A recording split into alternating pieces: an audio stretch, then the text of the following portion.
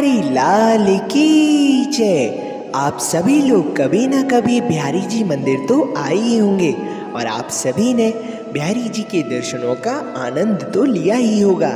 लेकिन क्या आप सभी को पता है कि बिहारी जी कैसे प्रकट हुए थे? बिहारी जी के प्रकट होने की क्या कथा है? तो चलिए आज मैं आप सभी को बिहारी जी के प्रकट होने की कथा सुनाऊँगा।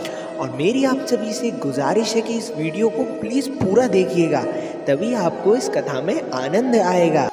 तो चलिए बिहारी जी का नाम लेकर कथा को प्रारंभ करते हैं। कुंज बिहारी श्री हरिदास, श्यामा प्यारी कुंज बिहारी, जय जय श्री हरिदास दुलारी। आप सभी को पता ही होगा कि हमारे स्वामी हरदास जी अलीगढ़ के एक गाँव में रहते थे, जिसे अब हरिदासपुर नाम से जाना जाता है। हरदास जी अपने सभी सांसारिक मोहों को त्याग कर यहाँ वृंदावन आए थे और उनके संग संग उनके भाई गोविंद जी का बेटा विठल विपुल जी भी उनके साथ साथ चले गए थे। वृंदावन पहुंचकर उन्हें यमुना जी को पार करके उसके किनारे पर ही साधनारत हो गए, जहाँ पर आज निधवन राज उपस्थित है।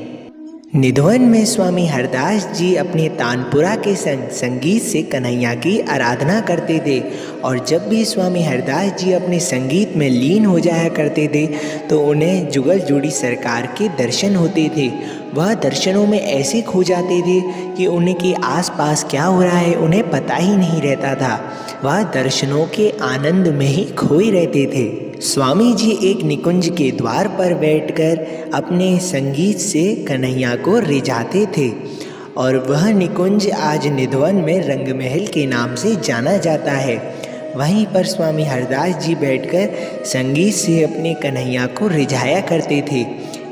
एक दिन विठल विपुल जी के मन में एक प्रश्न उठा कि स्वामी जी का संगीत किसके लिए समर्पित है? इसी प्रश्न के साथ एक प्रश्न और भी जुड़ा था कि स्वामी जी जिस निकुंज के द्वार पर बैठकर संगीत की रागिनी छेड़ते हैं, उसके भीतर कौन विराजमान है, जिससे वह एकांत में बातें भी करते रहते हैं।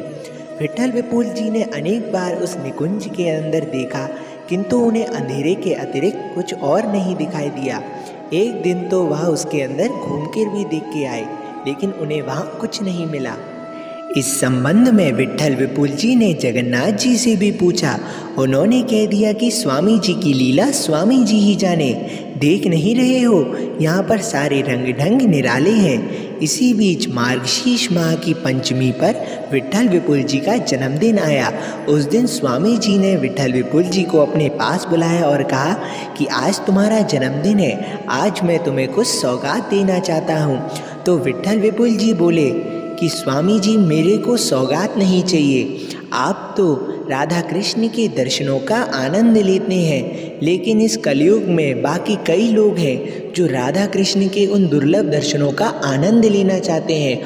तो उन दुर्लभ दर्शनों को सुलभ बनाइए। बस यही मेरी आपसे विनती है। उनकी भावना का सम्मान करते हुए स्वामी जी ने सभी महात्मा जनों को बुलाया और सबके आने के बाद अपने संगीत को प्रारंभ किया।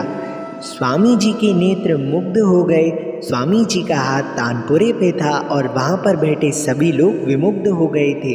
वहाँ ऐसा कोई नहीं था जो स्वामी जी के संगीत के रस में ना डूबा हो।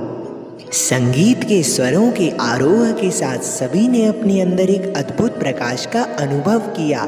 तभी आकाश में बिजली कड़कने लगी और वर्षा होने लगी।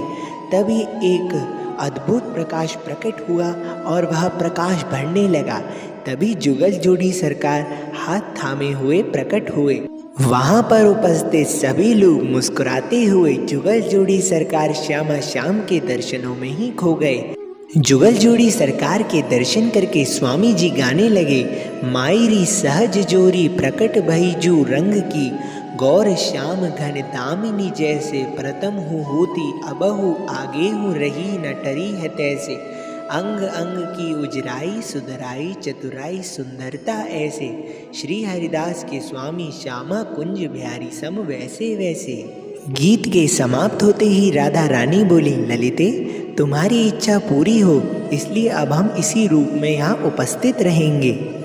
फिर स्वामी जी थोड़ा चिंतित होकर बोले कि हे प्राणधर, निकुंज के बाहर आपकी सेवा कैसे होगी? विष्णु, शिव, इंद्र आदि सभी देवताओं की सेवा का तो वैदिक विधान है। तभी जुगल जोड़ी सरकार मुस्कुराते हुए बोले, सेवा तो लाड़ प्यार की होगी। समझ गए?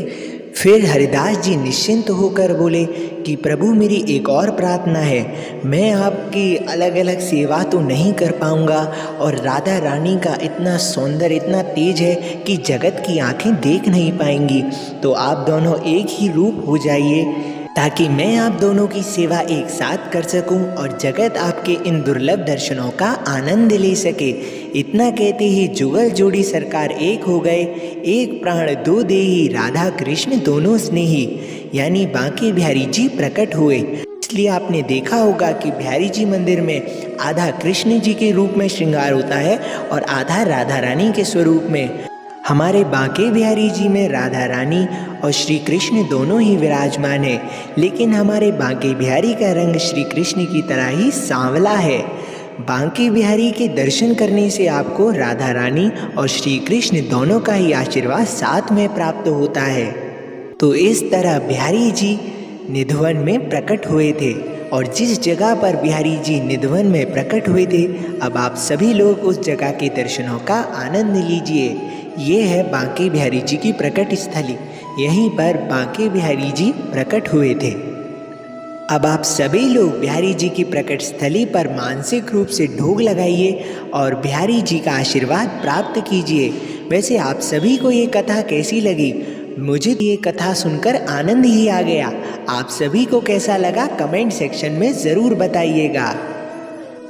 सो इस तरह मार्गशीर्ष माह की पंचमी पर बिहारी जी प्रकट हुए थे, इसलिए इसे बिहार पंचमी कहा जाता है। और इस दिन हमारे विट्ठल विपुल जी महाराज का भी जन्मदिन है। यह दिन हमारे बिहारी जी मंदिर में बहुत ही धूमधाम से मनाया जाता है। और स्वामी हरदास जी निधवन से चित्रपट के स्वरूप में बैंड बाजा झांकी के साथ बिहारी जी को बधाई देने भी आते हैं। ये दिन बिहारी जी मंदिर में बहुत ही धूमधाम से मनाया जाता है। तो मैं आप सभी को बिहार पंचमी की भी वीडियो ज़रूर दिखाऊँगा और अगर आप सभी लोग उन दृश्यों का आनंद लेना चाहते हैं तो हमारे चैनल को सब्सक्राइब कीजिए और इस वीडियो को जितना हो सके उतना शेयर कीजिए। और मैं मिलता हूँ आप सभी से अपनी अगली वीडियो में। राधे राधे जय बिहारी जी की।